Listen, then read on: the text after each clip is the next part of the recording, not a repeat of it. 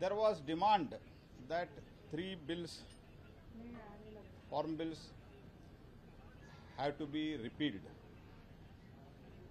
And some people were demanding that. And Prime Minister, Honorable Prime Minister, he decided and uh, he also showed the large, large-heartedness and decided to repeal the bill.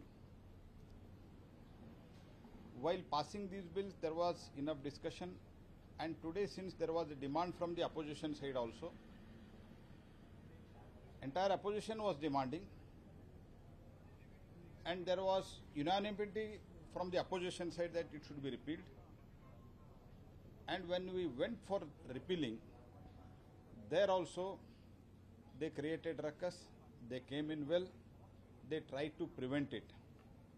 I would like to ask what is your intention? When you yourself demanded and some former, organi- former organization demanded, Prime Minister with large heartedness when he decided to repeal and government decided to repeal, why are you opposing this? Why you want to delay? The intention of government was we requested them to pass it today in Lok Sabha and we want to take it in the Rajya Sabha same day. And they were objecting, they were take, they were continuously creating ruckus and creating uh, uh, uh, sloganeering was continuously on. And uh, the intention of government was cle- very clear that today we should pass it in Lok Sabha and subsequently we wanted to take it in Lok Rajya Sabha.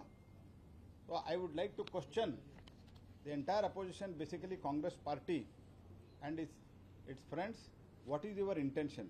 Why you want to do like this? Today government is very clear, we want to repeal it immediately and take it to Rajya Sabha. And I appeal them, at least in Rajya Sabha, when it comes now, please cooperate.